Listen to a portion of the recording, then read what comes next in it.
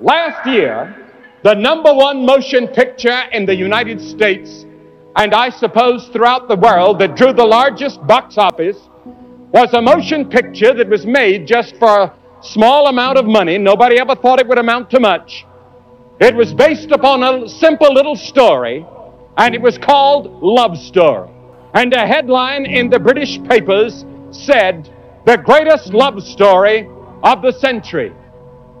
But the greatest love story of all time is summed up in these 25 verses, oh, 25 words, that someone is called a miniature Bible. The gospel in a nutshell. For God so loved the world that he gave his only begotten Son, that whosoever believeth in him should not perish, but have everlasting life. The greatest love story ever told. For God. Do you ever stop and think about God? Many people are thinking about God today because we've seen that science does not have an answer to all of our problems. We are seeing that technology cannot solve all of our problems. And so thousands of young people in Europe and in America are beginning to talk about God. Some of them are going to India to see if they can find peace in their hearts. Some of them are going and studying yoga. And they're going into all sorts of different sects and groups searching for God. Some of them are going out into the desert and sitting under the stars and watching the stars. Have you ever wondered about God? Someone asked me at a university one day, Can you prove God exists? And I answered, No. I cannot put God in a test tube. I cannot put God in a laboratory and say, Here's God. How do I know that God exists? All the evidence seems to indicate that He does. I look up in the starry sky and I say, There must be a God. I look at the beautiful nature round about me and I say, There must be a God. I see the birth of a baby. Gary Player was telling us yesterday how he saw the birth of his last child. And he said, as I watched that, I knew that there had to be a God. But there's another reason. Deep in your heart, you have a conscience. And your conscience tells you there must be a God. Something down inside tells me there must be a God. And the Bible tells us that this God is the creator of all the universe. In Genesis 1 1, in the beginning, God created the heavens and the earth.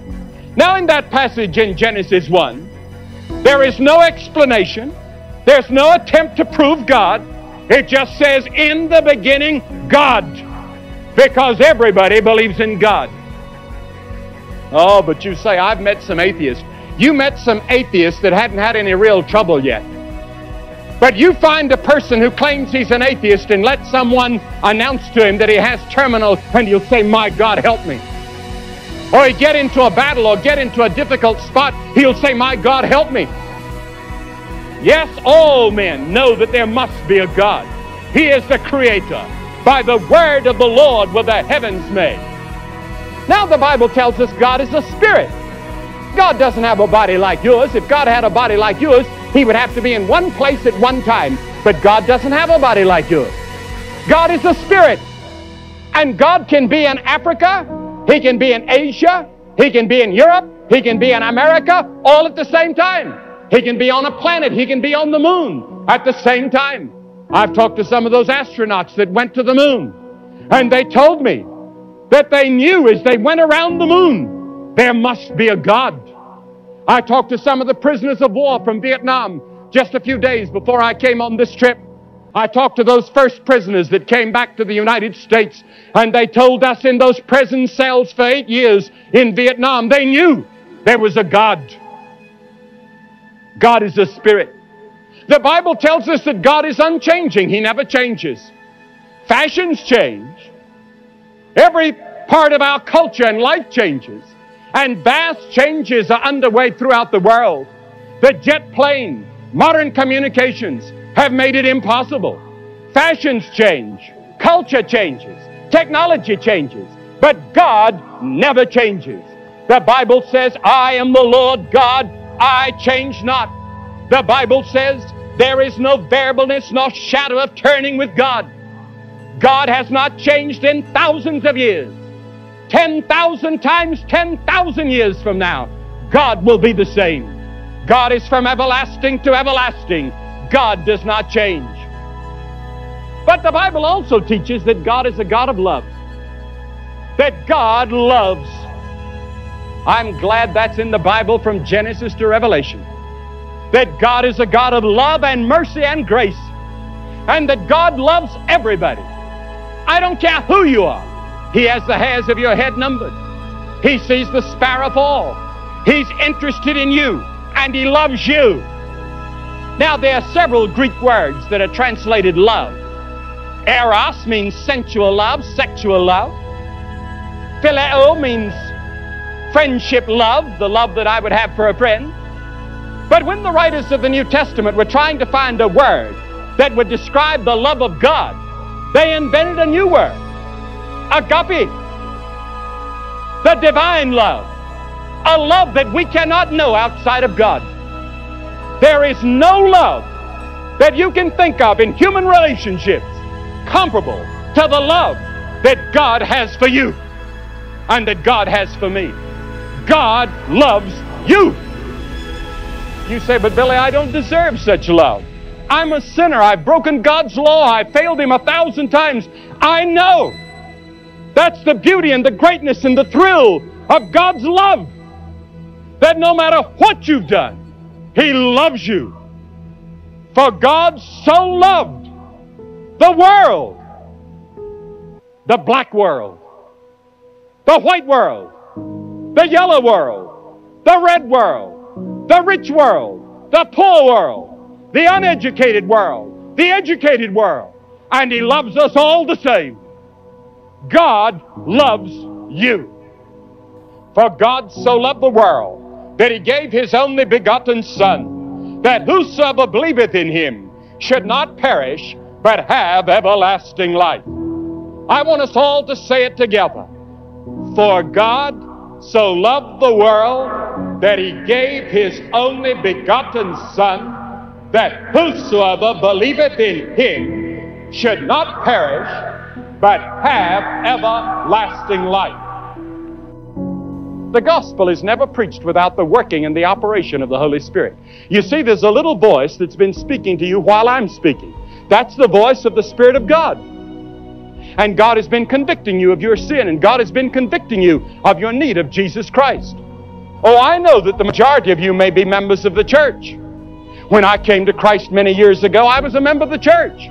I was the president of the Young People's Society in my church. Everybody thought I was a wonderful Christian. But deep in my heart, I did not know Jesus Christ as Lord and Savior. Now, God loves you. He's given His Son. What do you have to do? You have to do something. What is it? First, you have to repent of your sins. Jesus said, Repent ye. The Apostle Paul said, God now commandeth all men everywhere to repent. God commands you to repent. Have you ever repented of your sins? Do you remember the moment when you repented? You say, well, Billy, what do you really mean by repent? Well, first of all, repentance carries with it the idea that you say, Lord, I'm sorry for my sin. Have you ever said that to God? I'm sorry, and you really meant it? And then it means that you have to change. You have to turn around. You have to change and quit doing your sins. Change your way of living. Old things pass away and everything becomes new. That's repentance. I'm sorry for my sin. I'm willing to turn from my sin. Have you ever repented? Jesus said, Except you repent, you will perish. And then, secondly, by faith, you must receive Christ as your Lord and Savior. That can all be done with repentance. Repentance and faith go hand in hand. You may not understand it all intellectually. You don't have to. You come by simple childlike faith. The Bible says, For by grace are you saved through faith. The Bible says, Without faith it's impossible to please God. Now, that doesn't mean you do away with your intellect or commit intellectual suicide. Oh, no, there's a logic to the gospel. But your mind has been affected by sin so that you can no longer really receive spiritual things. So you come by faith and receive Him. And then the third thing, you must openly confess Him as your Lord and Savior and Master. Now I want all of you to bow your head and I want you to pray this prayer out loud after me. Oh God, I'm a sinner. I'm sorry for my sin. I'm willing to turn from my sin. I receive Jesus as my Savior. I receive Him as Lord. From this moment on, I want to follow Him in the fellowship of the church. In Christ's name. Amen.